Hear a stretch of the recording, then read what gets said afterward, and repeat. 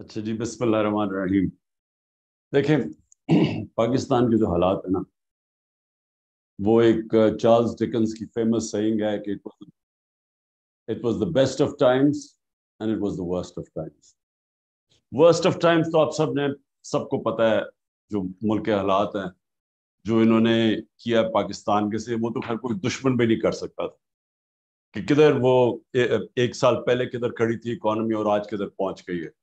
और ये बार बार हमें ब्लेम करते जा रहे थे कि जी हमारी वजह से है। तो आ, इस तरह का जो डिजास्टर हुआ है ये ये तो इस, इसके ऊपर तो कोई सिर्फ़ मैं यही कह सकता हूँ कि इन्होंने माजी में भी सारा वक्त डिजास्टर किया कोई गोल्डन एज तो आई नहीं थी इनकी। 99 में भी ये डिजास्टर छोड़ के गए थे 2018 में छोड़ के गए थे। तो ये को मैंने जब बाजवा को कहा और फिर ये शौकत को भेजा उसको बताने के लिए कि हमें जब पता चला ये साजिश कर रहा है तो हमने उसको बताया, मैंने भी बताया इसने भी कि इस वक्त बड़ी मुश्किलों से कमोडिटी सुपर साइकिल के होते हुए हम बड़ी डेलिकेटली अपनी इकोनॉमी बैलेंस कर रहे हैं। क्योंकि वो उस वक्त तेल तो वो 110 डॉलर पे पहुँच चुका था बैरल पे इंटरनेशनली तो प्रेशर तो पड़ा जा रहा था। तो उससे उससे मैंने भी कहा, इसने भी कहा कि एक दफ़ा अगर आपने इसको डिस्टेबलाइज कर दिया पॉलिटिकली तो ये एक इकोनॉमी ये नहीं संभाल सकेगी क्योंकि उन्होंने माजी में भी कभी नहीं संभाली थी। एनी anyway, वो हो गया। तो देखें अभी जो आपने जावेद आपने बात की पॉलिटिकल इकोनॉमी की देखें असल में ये हो ही नहीं सकता कि आपकी पॉलिटिकल इंस्टेबिलिटी हो और आपकी इकोनॉमी ठीक हो जाए। ये हो ही नहीं सकता कि आप एक वीक पॉलिटिकल गवर्नमेंट आए और वो आके रिफॉर्म्स कर दे। यानी हमें मुझे पता है कि किस तरह हम, हमने ये साढ़े तीन साल गुजारा किया था। जब हमारे पास क्लियर मेजोरिटी नहीं थी हम मज़बूत नहीं थे तो किस तरह के प्रेशर फेस करने पड़े कि जब भी कोई ताकतवर माफिया के ऊपर हाथ डालते थे तो अपने अंदर से ही अपनी मेजोरिटी बचाने में प्रॉब्लम लग जाता था। और फिर जब सुपर किंग साहब अगर फैसला करें कि यहाँ अकाउंटेबिलिटी नहीं होनी तो हम जो मर्ज़ी कर लें अकाउंटेबिलिटी नहीं हो सकती थी। क्योंकि यहाँ हमारी कमज़ोरी इतनी थी। तो ये जो ये जो अब है, ये वर्स्ट ऑफ़ टाइम्स तो बता दिया। बेस्ट ऑफ़ टाइम्स तब आएगा, अगर एक स्ट्रॉन्ग और स्टेबल गवर्नमेंट पब्लिक मैंडेट से आए, और फिर इस क्राइसिस की वजह से वो स्वीपिंग रिफॉर्म्स करे, जो बड़ी देर पहले पाकिस्तान को करना चाहिए था। लेकिन ना किसी की विजन थी और ना हो सकता ताकत भी ना हो जो हमारे पास नहीं थी वो स्ट्रेंथ लेकिन अब मैं पहली दफ़ा देख रहा हूँ कि इस क्राइसिस में तो आप आप बिज़नेस एज यूजुअल कंडक्ट कर ही नहीं सकते। इसमें तो आप वो स्टेप्स लेने पड़ेंगे जो मेरे नहीं ख्याल में किसी गवर्नमेंट ने अभी तक लिए। वो और वो लेने पड़ेंगे, क्योंकि कोई भी चीज़ अब इस क्राइसिस से निकल नहीं सकती। लेकिन मेरे ख्याल में कि अगर एक पब्लिक मैंडेट से गवर्नमेंट आए, लोगों से सच बोले, लोगों को तैयार करे। मैं जो अपनी कौम को जानता हूँ, जो मैंने एक ज़ीरो से पार्टी उठा के इधर तक आज पहुँची है कि सबसे बड़ी पार्टी है पाकिस्तान की तारीख में। ये जो आज आज जो पब्लिक हमारी स्टैंडिंग है, ये किसी पार्टी की नहीं थी वेस्ट पाकिस्तान हाँ मुजीबर रहमान की पार्टी थी नाइनटीन सेवेंटी में ईस्ट पाकिस्तान लेकिन इधर कभी पार्टी की इस तरह की पब्लिक बैकिंग नहीं जो आज इसकी। तो इस पब्लिक बैकिंग का फ़ायदा उठाते हुए हम अगर इलेक्शंस के अंदर एक क्लियर मेजोरिटी आती उसके बेस के ऊपर लोगों को मेंटली तैयार करके पहले कि आप एक्सपेक्ट करें कि हमने बड़े मुश्किल वक्त से गुजरना है। हमने ये ये कैंसर फैल रही है जिसम में इसको काटना है, तकलीफ़ होगी, लेकिन उसके बाद आपका अच्छा वक्त आ जाए। जो मैं अपने लोगों को जानता हूँ आप देख लेना, ये बड़ी रिजिलियंट कॉम है, ये खड़ी हो जाएगी। सिर्फ़ उसका हमें करना क्या पड़ेगा उस मुश्किल वक्त में? जो सानिया नेशनल के प्रोग्राम्स हैं, जो बड़े अच्छे, मुझे भी इसने एक्सप्लेन किया, वो जो टारगेटेड सब्सिडीज का प्रोग्राम है हेल्थ कार्ड है। हमने उनकी प्रोटेक्शन के लिए जिस तरह सस्ते कर्जे हैं, ये हमें उनकी प्रोटेक्शन के लिए चीज़ें देनी पड़ेंगी जो सबसे वनरेबल तबका उसको दे के तो फिर बड़ी रेडिकल रिफॉर्म्स जिसमें सारी आपने बात कर दी ये जो गवर्नेंस सिस्टम है ये तो बिल्कुल ही एक ऐसा सिस्टम है जिसके अंदर हम निकल ही नहीं सकते ये जो हमारे प्रॉब्लम्स वो उसकी वजह ये है कि गवर्न इतना अनवील्डी किस्म का सिस्टम है कि आप जो हम चीज़ें चाहते हैं ना हमारा प्रॉब्लम तो, तो ट्वेंट डेफिसिट्स है। एक तरफ़ करंट अकाउंट है दूसरी तरफ़ फ़िज़िकल है। तो इन दोनों को ठीक करने के लिए पहले तो रिफॉर्म्स चाहिए सिस्टम हर थ्रू आउट हर चीज़ के अंदर रिफॉर्म चाहिए। लेकिन जो मैं सबसे पहले जो जो, जो शॉर्ट टर्म की आप बात कर रहे हैं ना शौकत सबसे जो हम इमीडिएट अगर हम कहीं से रिलीफ मिल सकती है क्योंकि दो ही प्रॉब्लम्स हो जाते हैं। सबसे बड़ा प्रॉब्लम तो डॉलर का होता है। हमारा रुपया गिरना शुरू हो जाता है उससे इन्फ्लेशन बढ़नी शुरू हो जाती है उस साइकिल के अंदर ही हम फंसे हुए हैं। और उसकी वजह से इन्वेस्टमेंट नहीं आती। क्योंकि जब आपका करेंसी गिर रही हो तो जो बाहर से इन्वेस्टर है वो अगर ये समझता है कि डॉलर में ही पैसे रखे तो फ़ायदा है वो क्यों पाकिस्तान में अपने डॉलर चेंज करके इन्वेस्ट करे? तो और अपने भी लोग हम हमारे भी लोग आज जो हालात हैं पाकिस्तान के सारा पाकिस्तान के अंदर भी इन्वेस्टर वो डॉलर ही लेके बैठ जाए। वो क्यों इन्वेस्ट करे जब उसे पता है कि उसे ये नहीं पता कि करेंसी कितनी तेज़ी से गिरेगी? सो so, जो सबसे इंपॉर्टेंट चीज़ वो ये है कि हम पहले तो अपने रुपए को कैसे मज़बूत कर सकते? वो कौन कौन सी चीज़ें हैं जो, जो डॉलर इनकम बढ़ा सकती? और वो सबसे इंपॉर्टेंट जो ओवरसीज पाकिस्तानी है उसको हम कैसे पाकिस्तान के अंदर इन्वेस्ट करवा सकते? हमने रेमिटेंसेस तो उसने हमें ट्रस्ट किया रिकॉर्ड हमने उठा दी। Roshan digital by the way डेढ़ साल के अंदर तकरीबन साढ़े पाँच साढ़े पाँच अरब डॉलर आ गया था। और वो तेज़ी से बढ़ रहा था यानी तेज़ी से ग्रो कर रहा था। तो हम और क्या कर सकते हैं उनको इस मुल्क में इन्वेस्ट करवाने के लिए? मैंने दो बड़े प्रोजेक्ट सोचे थे। एक ये सिंध गवर्नमेंट ने स्कटल कर दिया बंडल आइलैंड का। बिलियंस ऑफ़ डॉलर्स पाँच छह बिलियन डॉलर तो एक एक वक्त ही कमिट हो गए थे बाहर से। बड़े कंसोर्शियंस थे। और फिर ये रावी सिटी ये भी इसको भी इस बारह महीने इस स्टे ऑर्डर दे दिया। बारह महीने। तो वो बारह महीने वो इन्वेस्टर्स और अब पहली दफ़ा आ गए इन्वेस्टर्स और वो भी, और सारे बाहर से थे। तो ये जो पाकिस्तान के अंदर डॉलर्स कैसे लेके आने हैं ओवरसीज पाकिस्तानी से? ये है कि अच्छा अब मेरा सबसे ज़्यादा इंट्रैक्शन ओवरसीज पाकिस्तानी से क्योंकि शौकत खानम का आधा पैसा इधर से आता है बनाने में सबसे ज़्यादा इन्होंने मेरी मदद की थी क्योंकि मैं जाता था पाकिस्तानी कम्युनिटीज सो। So, उनको प्रॉब्लम्स क्या आते हैं? नंबर वन कि वहाँ टाइम बहुत लगता है। वो कहते हैं पाकिस्तान के अंदर अगर आप इन्वेस्ट करते हैं तो टाइम बड़ा ज़ाया होता है। हमारी जो जो स्पीड है काम करने की जो गवर्नमेंट डिपार्टमेंट्स में वो इतनी स्लो है कि हमारे लिए बड़ा मुश्किल है कि हम, टाइम इज़ मनी तो वो सबसे पहले तो ये कंप्लेन करते हैं। सेकेंडली वो रिश्वत की बात करते हैं हर जगह वो पैसे लेते हैं और जो स्पीड मनी कहते हैं वो जो लोग उस सिस्टम पे आदि हो जाए वो यहाँ एडजस्ट ही नहीं कर सकते। अच्छा कई दफ़ा उनके बच्चे आके यहाँ बड़े मोटिवेटेड होते हैं पाकिस्तान में इन्वेस्ट करने के लिए। वो बेचारे यहाँ धोखे खा के जब उनसे कोई फ्रॉड होता है, कोई कॉन्ट्रैक्ट इन्फोर्समेंट नहीं होती, वो सारे वापस चले जाते हैं। तो ओवर लास्ट फोर्टी इयर्स जो मैंने ओवरसीज पाकिस्तानी को इतनी दफ़ा देखा, कोशिश करते थे आने के लिए, या सिस्टम ही नहीं अलाउ करता उनको इन्वेस्ट करने के लिए। लेकिन तो बड़ा इन्वेस्टर है ना लेकिन वो जो स्मॉल और मीडियम इंडस्ट्री वाला इन्वेस्टर है, वो बड़ा तो नहीं है, लेकिन एक करोड़ पाकिस्तानी बाहर इनमें से ही पैसा जमा करते थे। और मैं आप बात कर रहा हूँ सेवेंटी से मैं कर रहा हूँ, वो वहाँ जाके पैसे जमा करते थे। पैसे जमा करके आके पाकिस्तान कुछ बिज़नेस में लगाते थे। और वो बेचारे 90 परसेंट प्रॉब्लम होता था, वो रुल जाते थे। यहाँ फ्रॉड होता था, कुछ होता था, रिश्वत, वो चल बड़ा इन्वेस्टर फिर भी चल जाए। छोटे के लिए तो ये सिस्टम अलाउ करता ही नहीं हो सो नंबर वन मेरी चीज़ ये है कि जो हमें रिफॉर्म्स करनी है गवर्नेंस के अंदर, वो सबसे पहले हम सारी रुकावटें रोके, जो के इनके रास्ते में आती मैं जब चाइना भी गया, हमने वो, मैंने उनके प्रीमियर से बात की प्रीमियर ली से, कि हम पाकिस्तान में इंडस्ट्री अपनी रीलोकेट करें। उधर भी उसी ने ये कहा। कहता कि इतनी देर लगती है, वो सारे कंप्लेन करते हैं कि वहाँ इतनी इतना प्रोसेस इतना लेट है कि वो अफोर्ड नहीं कर सकते वो छोड़ के आ जाते हैं। आप इंसेंटिव भी दें तो उसका भी फ़ायदा नहीं।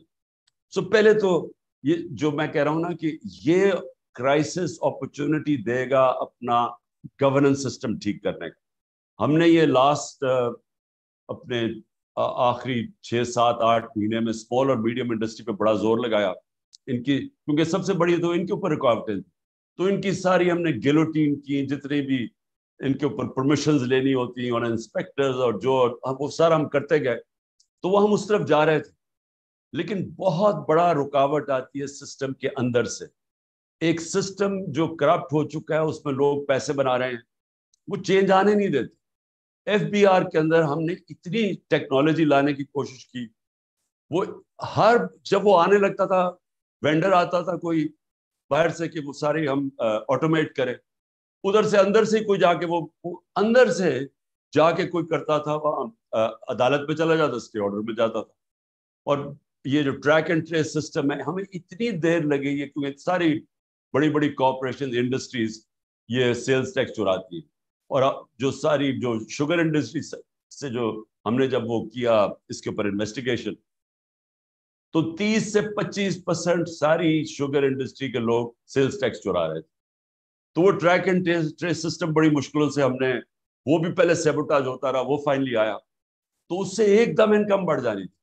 लेकिन अब पता नहीं मुझे क्या सिचुएशन है, लेकिन हमारी आखिर में वो एक बेवरेजेस और ये शुगर इंडस्ट्री और बड़ी बड़ी जो सीमेंट पे आने।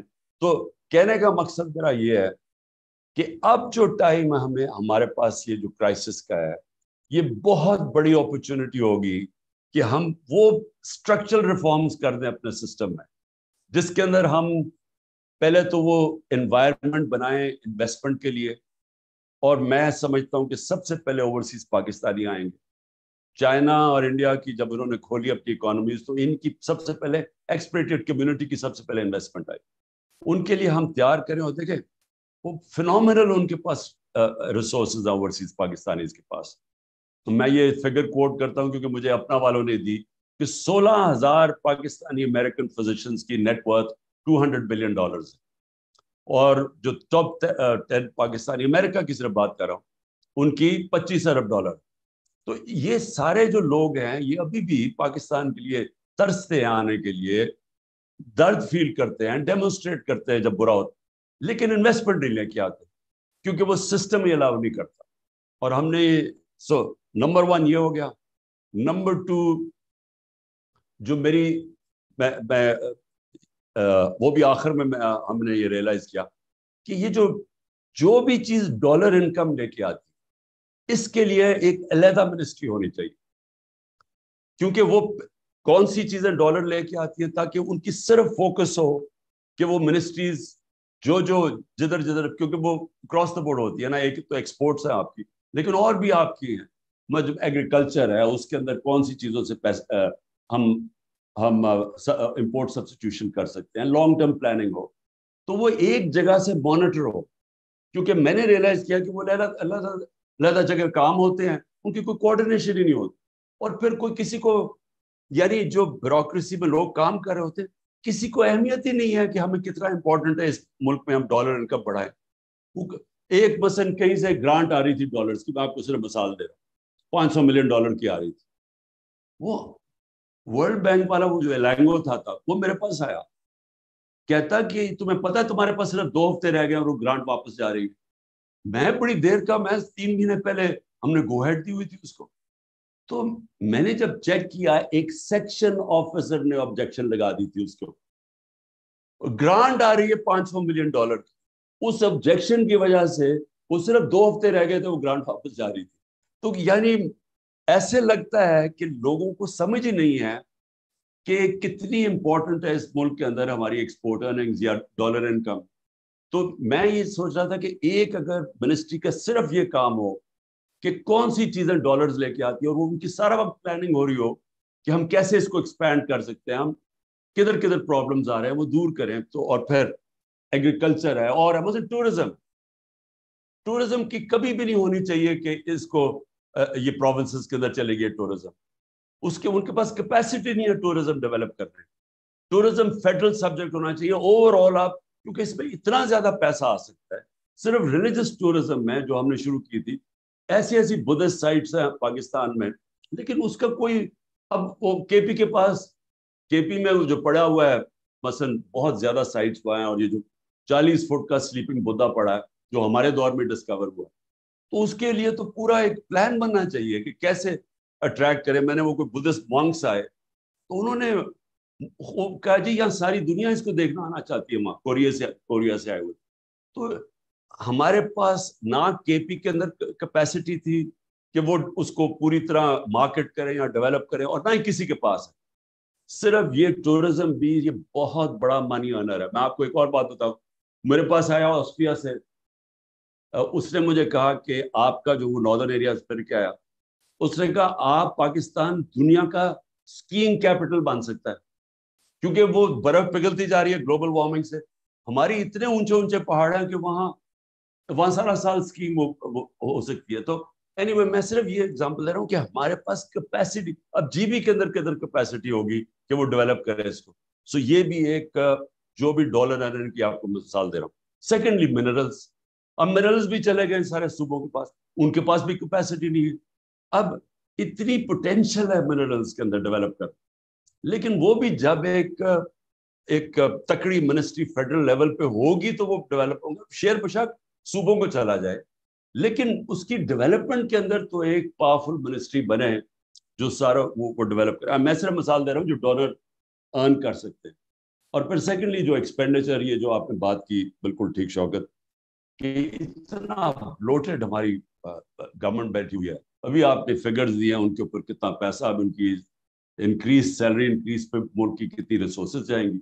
लेकिन अगर आप इनकी प्रोडक्टिविटी देखें तो वो वो जब आप तीन आदमी बैठा देते हैं, एक आदमी का काम करने के लिए तीनों ही काम करते।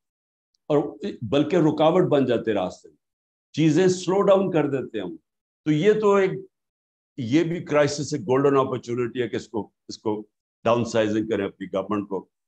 और और उसके अलावा भी आई मीन हमारे पास कैपेसिटी भी नहीं है। जो मॉडर्न रिक्वायरमेंट्स हैं आप ब्यूरोक्रेसी की या मिनिस्ट्रीज की, वो है ही नहीं। मुझे इतना, जब हमने प्रोब किया तो दो बड़ी एनर्जी की बहुत बड़ी मिनिस्ट्री पेट्रोलियम और पावर अब हम सारा वक्त फील करते थे कि उनके अंदर कैपेसिटी नहीं है। इतना पैसा है उसके अंदर, इतनी लॉसेस हैं। लेकिन इसके लिए तो हमने वैसे ये बड़ा डिस्कस किया वो शौकत है मैंने भी ये हमाद से भी कि हमें बड़े इसके लिए क्वालिटी के जितना मर्ज़ी उनको पैसा दो क्वालिटी के स्पेशलिस्ट आने चाहिए प्रोफेशनल्स को चलाना चाहिए क्योंकि एक फैसले में अरबों रुपया इधर उधर चला जाता है। और उनके अंदर कई उनके अंदर लोग बैठे हुए हैं पता नहीं कितने कितने साल के माफियाज वो शिप नहीं लग रही शिप को बाहर खड़ा करा वो आया उस हर चीज़ में पैसा बन रहा है। सो so एनी anyway, ये इस इसके जब तक आउटसाइड प्रोफेशन इस तरह के मिनिस्टर्स नहीं आते हम वो इनको सही माने में नहीं चला सकते। और मैंने जो आखिर में दो तीन पॉइंट्स थे मेरे आ, हाँ लॉन्ग टर्म प्लानिंग देखें मैंने एक और भी देखा कि हम जो आज हमारे हालात हैं वो सारे ये शॉर्ट टर्मिज्म के लिए हम इलेक्शंस के लिए देखते हैं। इसलिए कभी किसी ने इन्वायरमेंट का ही नहीं सोचा। हमने पहली दफ़ा ये जो हमारी और दुनिया में भी एक्नॉलेजमेंट हुई वो तो केपी से हमने शुरू किया, ये जो बिलियन सुनामी का आइडिया किया और उसके बाद इन्वायरमेंटल पहली दफ़ा प्रोग्राम्स बनाए। तो ये तो किसी के रेडार पे भी नहीं है। ये तो कोई कोई सोचता ही नहीं है इस चीज़ के ऊपर, क्योंकि पाकिस्तान की जो वनरेबिलिटी आगे वो बढ़ती जाएगी। और फिर डैम्स का, सोचे पचास साल के बाद डैम्स बना रहे हैं। हाँ ये पहली दफ़ा हमारी गवर्नमेंट में शुरू हुई है डैम्स बनाने। तो ये भी, यानी जब तक एक बैठ के जो अभी आपने, एक तो इमरजेंसी हो गया, एक शॉर्ट टर्म हो गया, लेकिन लॉन्ग टर्म प्लानिंग कभी भी कोई दुनिया के अंदर मुल्क प्रोग्रेस नहीं कर सकता जब उसकी लॉन्ग टर्म प्लानिंग और ये सारे जितने भी मैंने देखे हैं, जो ये सक्सेस मॉडल्स हैं, इन्होंने, अब चाइना जाओ, उन्होंने पता नहीं कितने सालों की प्लानिंग की हुई है। ये जितने भी है साउथ कोरिया ये सब की लॉन्ग टर्म प्लानिंग थी। हमारा तो ये सिर्फ़ इलेक्शन टू इलेक्शन प्लानिंग होती है, जिसकी वजह से हम हम एक क्राइसिस टू क्राइसिस जाते तो हमारा जो जो ये ट्विन डेफिसिट्स हैं, जो हमारे असल प्रॉब्लम्स उसके लिए एक्सपोर्ट और डॉलर अर्निंग बढ़ाने के लिए पूरी एक तैयारी हो। कैसे हम जो जो अपनी इम्पोर्ट्स हैं, जो जो हम इम्पोर्ट सब्सटीट्यूशन कर सकते हैं, वो उसके साथ हो। और जो कौन कौन सी और भी जो जो जिस तरह मैंने टूरिज़्म और मिनरल्स का, इनकी हम कैसे, इनको डेवलप कर सकते हैं। और फिर खर्चे किधर किधर कम कर सकती है गवर्नमेंट चलाने में? क्योंकि ये इतनी बड़ी जो गवर्नमेंट्स बन गई हैं यही सबसे बड़ी रुकावट है हमारी उसके ऊपर इन्वेस्टमेंट के अंदर। जो मैं फिर से रिपीट करता हूँ ओवरसीज पाकिस्तानी की इन्वेस्टमेंट ये सबसे इंपॉर्टेंट होगी हमारी डेवलपमेंट में, शुरू में। ये सब, ये क्योंकि ये करना चाहते हैं इन्वेस्ट ये पहले से इंक्लाइन है। इनके लिए पहले से प्लान करें कौन कौन से इनके प्रॉब्लम्स आते हैं।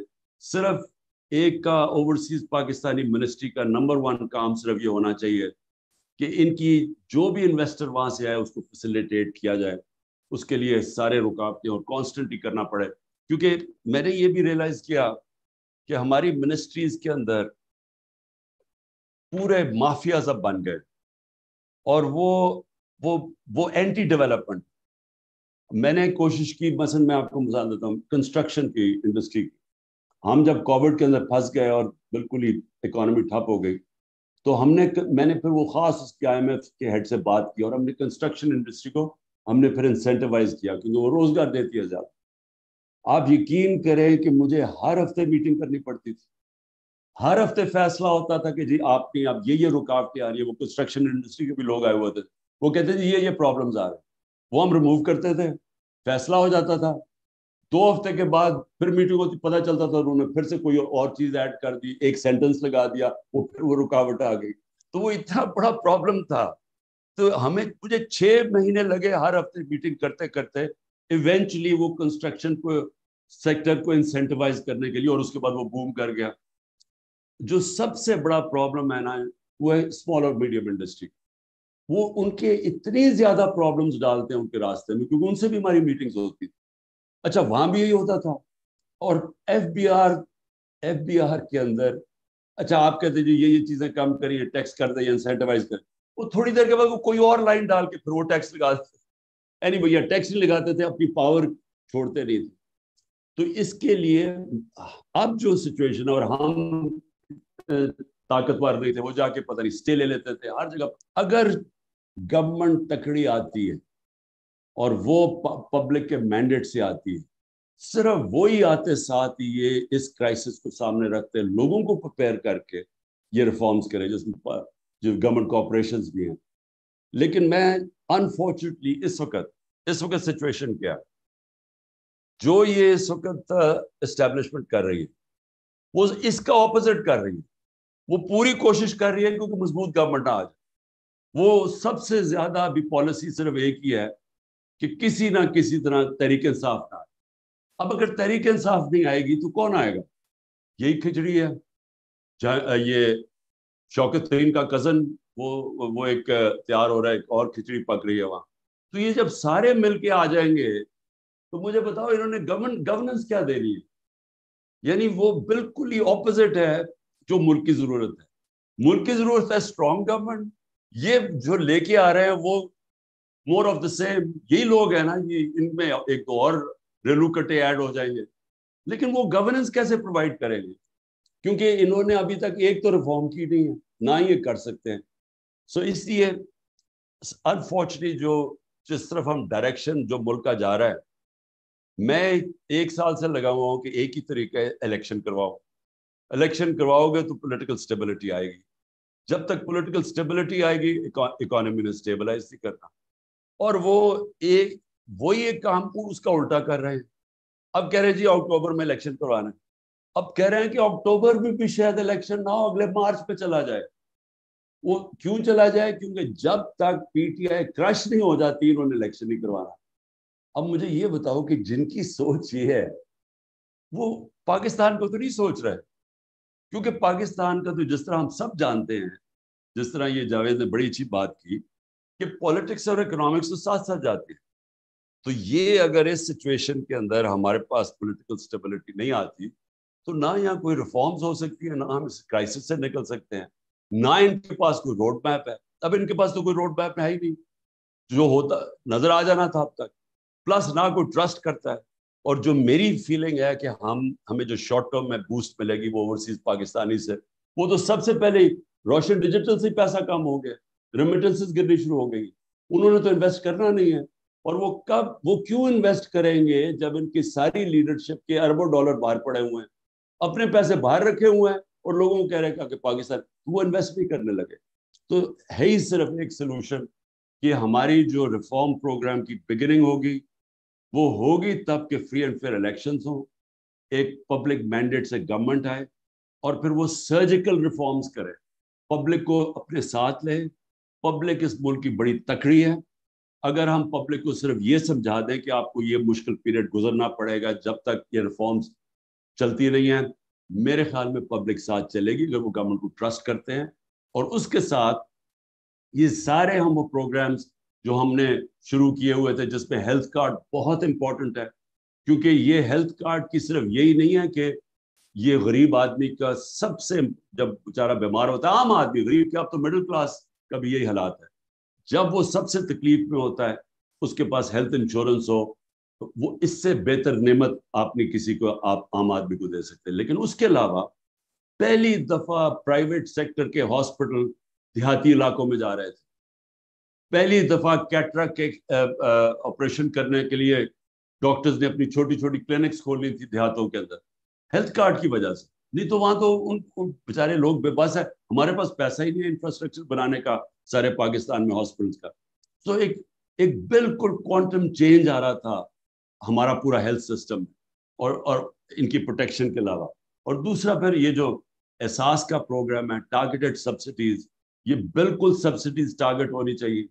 ये जो इतना ज़्यादा हम सब्सिडाइज करते हैं पैसा वो जाता ही नहीं है। वो तो और ये भी बात की एक्सपोर्ट्स का भी सब्सिडाइज तब करें जब उसका रिज़ल्ट नज़र आए कि हाँ एक्सपोर्ट से आपकी इंक्रीज हुई है तो तब सब्सिडीज है। तो ये जो अब तक सब्सिडाइज करने के प्रोग्राम्स हैं इसको बिल्कुल चेंज करना चाहिए और और सानिया ने ये जो आ, ये निचले तबके के लिए टारगेटेड सब्सिडी वो बड़ा मैंने उसकी प्रेजेंटेशन देखी है ज़बरदस्त प्रोग्राम इसने बनाया। और उसके अलावा ये जो सो हम निचले तबके को अगर ध्यान कर लेना क्योंकि ये मुश्किल वक्त में उनके ऊपर प्रेशर ना पड़े तो उसके बाद मेरे ख्याल में ये कौम तैयार हो जाएगी ये इस रिफॉर्म प्रोग्राम्स के लिए? तो मैं सबका शुक्रिया अदा करना चाहता हूँ, क्योंकि आपकी मुझे, आजकल आपको पता है कि मुझे टाइम नहीं मिलता, क्योंकि मैं लॉ सीख रहा हूँ अब। मैं इतनी ज़्यादा अदालतों में जा चुका हूँ कि मैं बड़ा एक्सपर्ट बन जाऊँगा लॉ का। तो इसलिए मुझे इतना वक्त नहीं मिला, लेकिन मैं इनशाला ये थोड़ा सा प्रेशर ईज होता है तो हम शौकत ये रेगुलर मीटिंग्स करेंगे। मैं अभी भी कन्विंस्ड हूँ, वो अभी हम बात नहीं करेंगे उसके ऊपर लेकिन मैं कन्विंस्ड हूँ कि थोड़ा सा out of the box thinking करनी पड़ेगी कि ये जो हमारा रुपया गिरता है और ये जो उसके साथ इन्फ्लेशन आती है, ये जो सबसे बड़ा प्रॉब्लम है, इसके ऊपर थोड़ी सी out of the box thinking जो है, इसके ऊपर और डिबेट चाहिए क्योंकि वो जो वो जो हमारा दोस्त है, वो पूरा पेपर उसने बना के अभी मुझे भेजने लगा जो मैं आप सबके अंदर सर्कुलेट करूँगा। उसने वो बड़ा कॉम्प्रिहेंसिव एक प्रोग्राम बनाया कि उसके ख्याल में करंट सिचुएशन में हम कैसे निकलेंगे। ओके जी थैंक यू बहुत शुक्रिया।